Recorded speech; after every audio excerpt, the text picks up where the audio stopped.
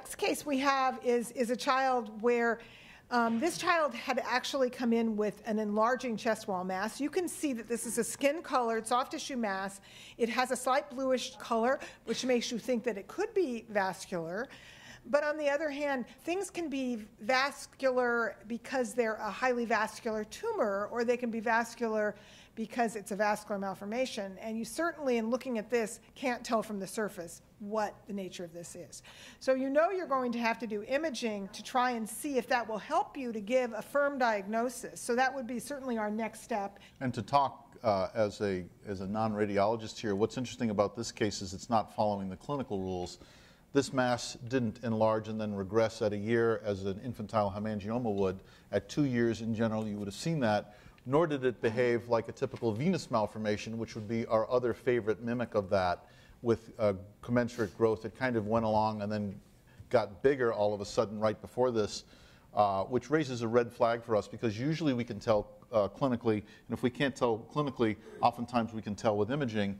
This makes us feel a little bit better, very well circumscribed a lesion enhances from the center out.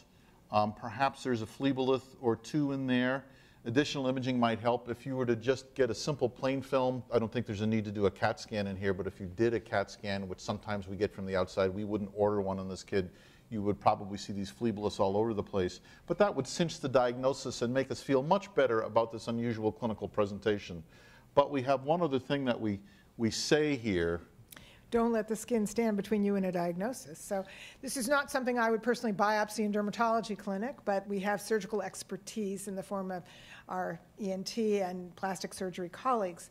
And, and if we're and the other reason we were concerned this was not, for example, an infantile hemangioma is not just that it, we wouldn't expect it necessarily to be gone by two years of age, but we wouldn't expect it to be continuing to grow at two years of age because growth of infantile hemangiomas tends to be uh, tailing off by about a year of age. So that was really an important clue. In this case, this was removed surgically. The other reason to remove it was it, it would be easy to cure surgically, um, and so you would get a diagnosis and a therapy at the same time, and this did turn out to be a, a well circumscribed venous malformation.